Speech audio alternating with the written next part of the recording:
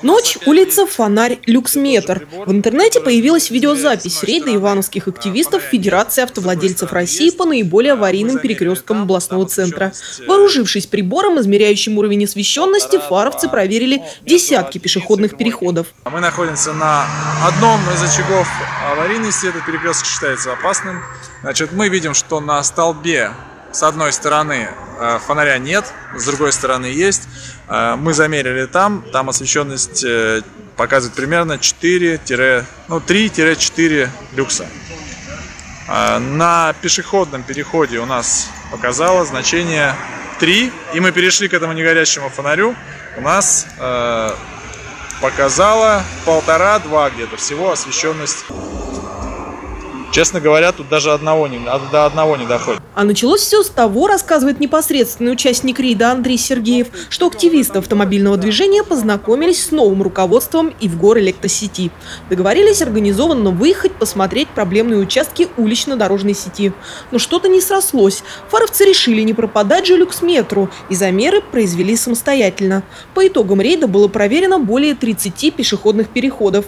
Уровень освещенности большинства из них не превышает трех люксов люксов при норме 8. Ну, мы не являемся истинной последней инстанцией. Да? На это все есть и заказчик администрация города, и, э, и в горэлектросеть специалисты, которые разбираются в этих моментах лучше.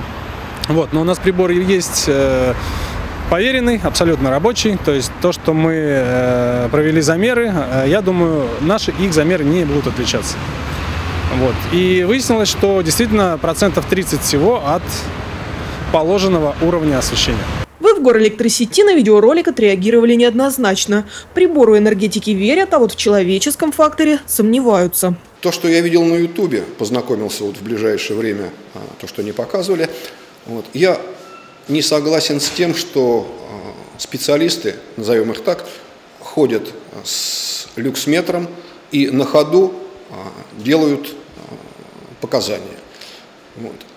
Если обратиться к нормативно-технической документации, то мы видим, что при измерении а, освещенности на объекте нужно иметь не меньше 15 контрольных точек, что отражается, соответственно, в протоколе.